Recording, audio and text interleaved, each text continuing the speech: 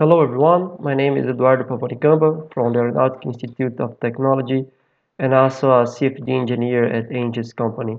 And I'd like to show you part of my work on wind turbine airfoils optimization. So I prepared this short presentation divided in four topics being the motivation behind this work, the methodology we used, uh, the validation of computational tools, and finally the results. So Growing concerns about world energy crisis and environmental problems has led to a search for alternative renewable energy sources. And because of this, we have seen more investments and studies in the wind power uh, technology field. For example, this table shows the number of wind power installations and uh, it's growing in several countries. So we can actually see that it's indeed a field that's getting more attention year after year. And bringing it to a national scope, Brazil has an energy matrix based on the hydraulic energy. And even though it is a renewable source, it also has some problems related to environmental impacts. So wind power appears as an alternative to diversify our energy matrix. And Brazil already has 3% of wind power installations over the world. So this brief contextualization shows uh, the importance of investing and studying uh, this field.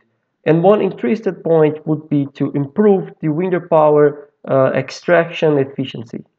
And one possible way to achieve this uh, is by the improving aerodynamic efficiency of wind turbine projects. And in this field, one point that it requires more attention is the design of airfoils to be used specifically for wind power applications. And besides, we identify a lack of working relating how some aerodynamic parameters can affect the results of these projects, these designs. So our major goal here is to design a wind turbine airfoil based on uh, aerodynamic optimization and investigate how some aerodynamic parameters can affect the results of the, this optimization. And this paper specifically regards angle of attack variations. So first thing we need to define our optimization method. So we chose the gradient-based optimization. And the idea behind this, uh, this method is, let's suppose a generic function like this one in the picture, and also a generic starting point x0, y0, this method changed the function variables, x and y in this case, in the direction of the function gradient in order to reach the minimum point or maximum depending on the problem. So regarding uh, airfoil and a flow around this airfoil, this first equation shows the calculation of the gradient of a cost function i and uh, where this first term is related to flow variables. And the problem is, in aerodynamic optimizations using CFD applications, uh, which are aerodynamic uh, analysis, the calculation of this first term is very expensive. That's why we are using uh, the adjoint approach. This approach is the insertion of the second equation in the first one. So we can choose the Lagrangian multiplier in order to eliminate this expensive term. So we use this method in our case. And our case is the maximization of the lift drag ratio or aerodynamic efficiency, which is the most important parameter in a wind turbine airfoil project. And it's also uh, subject to a geometric constraint of thickness higher than 0.12 for structural reasons.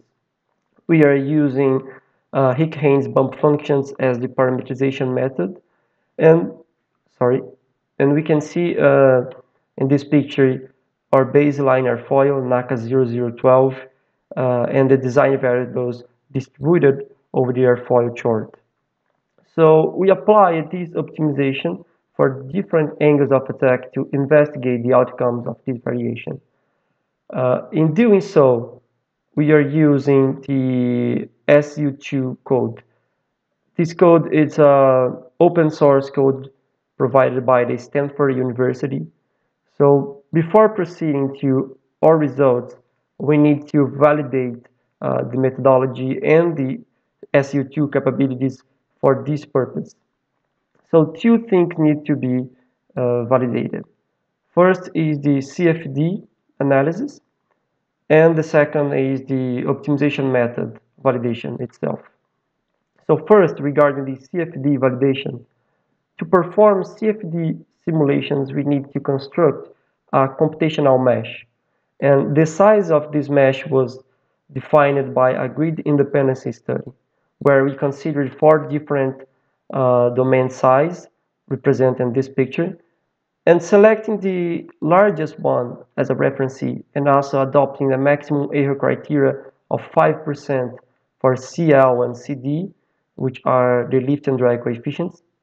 This table shows that the second mesh already has a sufficient precision in terms of CL and CD without needing to enlarge too much this mesh domain. We also investigate the refinement level through this grid independence study. So starting from the standard mesh we are seeing this picture, we refine it with double of number of points uh, homogeneously.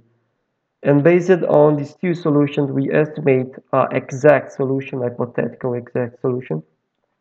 And again, this table shows that standard mesh already has uh, sufficient precision without needing to uh, additional refinement level. So we applied in this mesh the Navier-Stokes equation with this Spalart-Allmaras model, uh, turbulence model and performed some simulations on the NACA 0012 airfoil. And to validate it, we compared these numerical results with experimental results from wind tunnel uh, tests. So these two graphs shows uh, the lift coefficient and drag coefficient. And we can see a very good agreement between numerical um, and experimental results. So regarding the validation of the optimization method, we performed the benchmark optimization problem proposed by AIAA, which is the drag minimization of the RAE 2822 airfoil. And this picture shows uh, the pressure coefficient over the airfoil chart. And the blue line represents our results. So as we can see here, uh, our optimization method successfully reduced uh, the effects of this shock wave you can see in the dashed line. And following the same tendency of severity orders uh, references with different uh, optimization methods. So based on these results, we can state that uh, the methodology and computational tools are validated for our study purpose. So we can jump to the results. We performed that uh, optimization in three different angles of attack, namely alpha equals to 5 degrees, 7 degrees, and 9 degrees. This picture shows a comparison between uh, the baseline airfoil, NACA 0012, and the optimized shapes. We are calling these shapes Opt5, Opt7, and Opt9. And generally, it's notable that lower angle of attack resulted in more expressive uh, geometrical deformations. To understand why it happened, we need to investigate it aerodynamically. So the left picture shows the streamlines around the Opt5 and Opt9 geometries. And as we can see in Opt9 case, the flow reached airfoil in a point more distant from the leading edge, which makes this flow more critical in terms of flow attachment. Um, it suggests that if the optimizer had um, deformed this shape as much as it did for Opt5 case, it would have caused a stall or flow unattachment. So to confirm it, or at least to strengthen this idea, we performed a simulation uh, of the Opt5 geometry under Opt9 conditions. And as we can see in the left, in the right picture, there is indeed a stall in the trailing edge. So once we understood why uh, these difference happens, let's investigate how it affects uh, our cost function or aerodynamic efficiency. So this graph shows the evolution of the percentage gain of aerodynamic efficiency over the optimization cycles.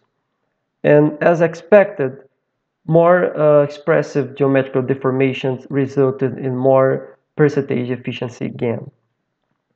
However, if you want to select one airfoil to be used in a wind turbine uh, project, we want to select the one that provides the more efficiency value, the absolute value, no matter the, uh, the efficiency gain of the process.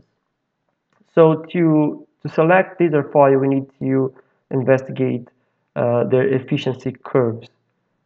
So we got the three geometries and extract their drag polars, representing the left side. Based on these uh, curves, we extract their efficiency curves so we can compare the, the maximum values or the peaks here. And even though the uh, differences are not expressive, uh, OPT7 case resulted in more efficiency value. So it would be the most appropriate airfoil to be used in this project.